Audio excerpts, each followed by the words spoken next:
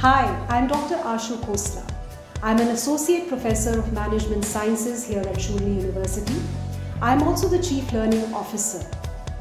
I teach a course on creativity and innovation.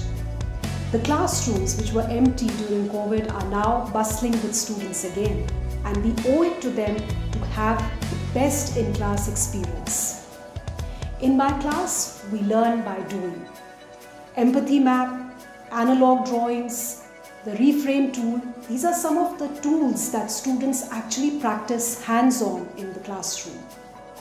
I believe that creativity, just like learning, is as much about action as it is about thinking. As we learn by doing in the classrooms, I, as a teacher, get so many opportunities to learn so many new things. Being a student while I teach, I think that is a great blessing. Thank you.